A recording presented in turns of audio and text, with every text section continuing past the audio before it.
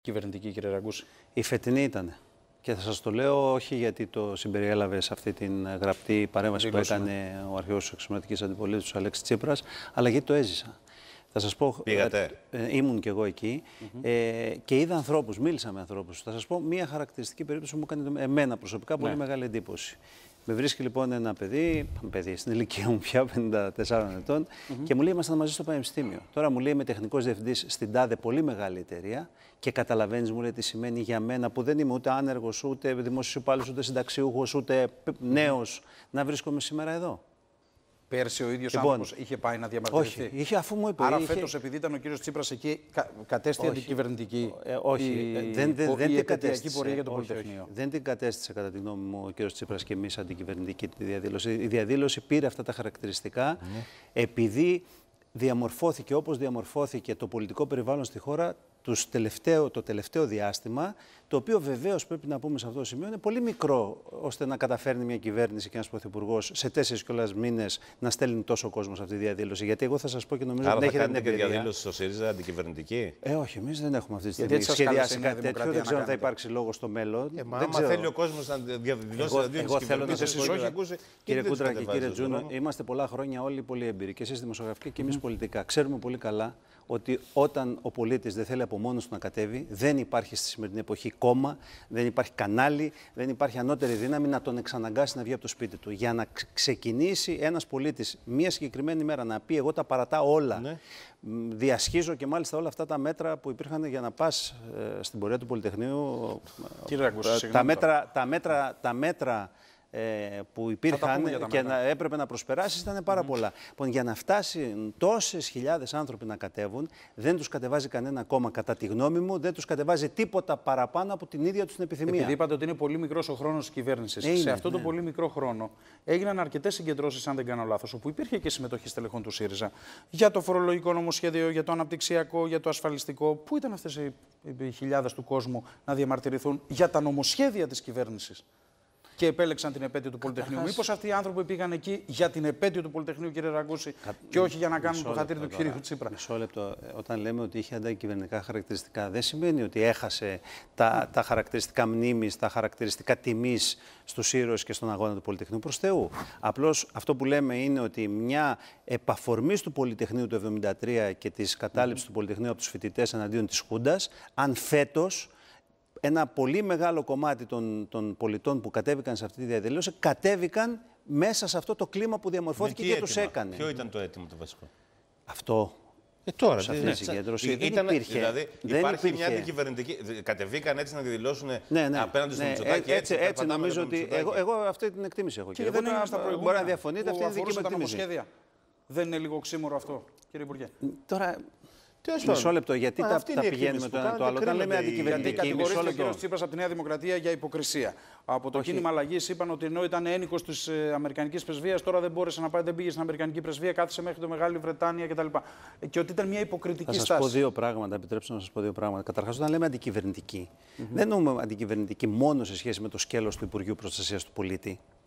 Αντικυβερνητική δεν σημαίνει ότι Και γι' αυτό σε έχω ρωτάω, στο. Ποιο είναι το αίτημα δηλαδή; Ε, Είναι όλα αυτά που λέει ο κύριος Τζούνος, προφανώς στο μυαλό πολλών ανθρώπων. Είναι όλες αυτές οι, οι, οι πραγματικά ε, αντιλαϊκές ρυθμίσεις που κάνανε στα εργασιακά. Με τα νομοσχέδια που περάσαν, τις τροπολογίες μέσα στο καλοκαίρι κλπ. Όλα αυτά έχουν αθρηστεί, όλα αυτά έχουν δημιουργήσει ένα περιβάλλον που κατά τη γνώμη μου όθησε τους πολίτες αυτούς να, να είναι στην διαδήλωση, να- στη συγκέντρωση, στην πορεία.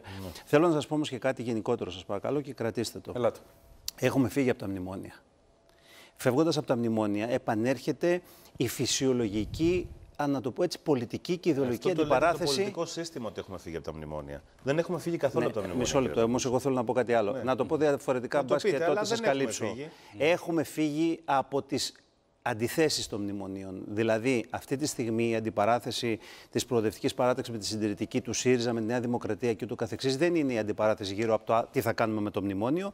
Έρχεται σιγά σιγά η αντιπαράθεση, η αντίθεση έρχεται σε θέματα και αντιθέσεις που πάντα υπήρχαν, πάντα θα υπάρχουν και όχι μόνο στην Ελλάδα αλλά και διεθνώς.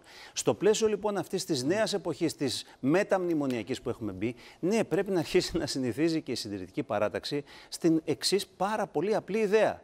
Ότι στη χώρα θα υπάρχει μια καθαρή δεξιά, συντηρητική παράταξη που θα εκπροσωπείται όπως όλα δείχνουν και τώρα και στο μέλλον από τη Νέα Δημοκρατία με ή χωρίς ηγεσία Μητσοτάκη και από την άλλη θα υπάρχει μια καθαρή προοδευτική παράταξη με κέντρο το ΣΥΡΙΖΑ η οποία θα έχει και αυτή τα δικά της προοδευτικά χαρακτηριστικά. Με ή χωρίς Θα ηγεσία Τσίπρα; ε, το χωρίς ηγεσία Τσίπρα δεν φαίνεται Γιατί στον το βάλετε στο ορίζοντα Μητσοτάκη, της το βάλετε στο επόμενης. Τσίπρα. Ναι, εσείς μπορείτε να το βάλετε. Εγώ δεν έχω αυτή την, ε, την προοπτική στο μυαλό μου και την εκτίμηση. Νομίζω ότι οι, ε, Ναι. τα επόμενα χρόνια ε, δεν έχουν μόνο ηγεσία Τσίπρα, ε, να το πω.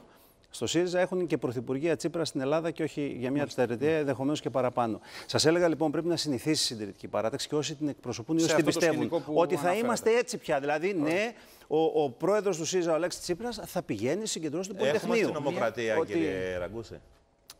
Έχουμε, Έχω ακούσει και ακραίες εκφράσεις από κάποιες τελέξει. έχουμε, έναν πρωθυ... πρωθυ- και τέτοια. έχουμε έναν πρωθυπουργό ε, και ένα, μια κυβέρνηση ε, η οποία έχει, ε, ο οποίος και η οποία έχουν στο μυαλό τους το ρόλο της αστυνομίας ως κεντρικό, ως νευραλγικό, ως κεντρικό στρατηγικό στοιχείο του μοντέλου διακυβέρνησης. Ναι. Έχουμε έναν Μητσοτάκη, να το πω με Τήρηση του απλά νόμου λόγια. ή παρανομίας; Ε, τώρα παρανομίας. Ε, ε, ε, παρανομίας εννοώ να ξεφεύγουν έχουμε, τα όρια του έχουμε νόμου. έναν πρωθυπουργό και μια κυβέρνηση που δυστυχώς, δυστυχώς και για τους ίδιους και για την Ναι, ηρεμία στη χώρα και για την κοινωνική ειρήνη βλέπουν την αστυνομία με μια λογική άσπρου μαύρου.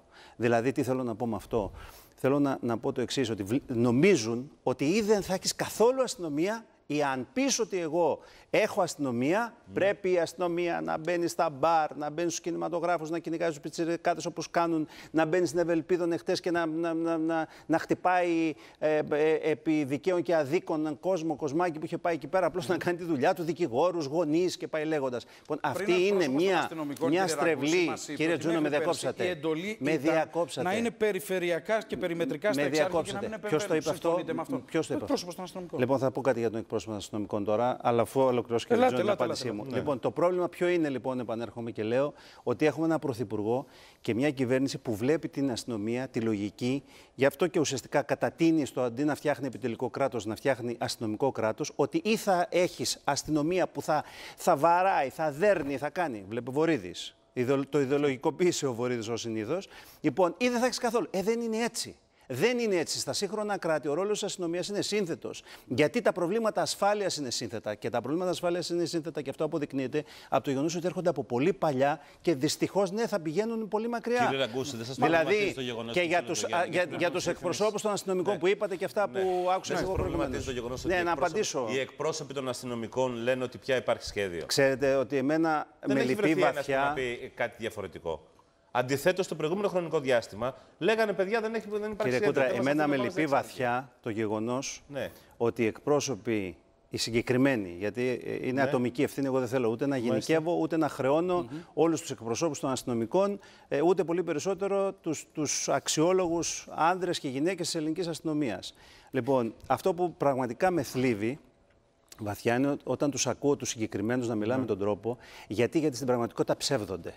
Και στην πραγματικότητα παίζουν οι ίδιοι ατομικά ένα κομματικό παιχνίδι ως κομματικά μέλη της Νέας Δημοκρατίας. Και θα σας το αποδείξω λέγοντας το εξής. Κύριε Τζούνο, σας παρακαλώ, ανάσα, γιατί Μην- η αν ερώτηση θα ήταν πάρετε δική εσείς σας. Διαφημίσεις, θα τη συνεχίσετε Μην μετά. αγχώνεστε. Διαφημίσεις. Ωραία.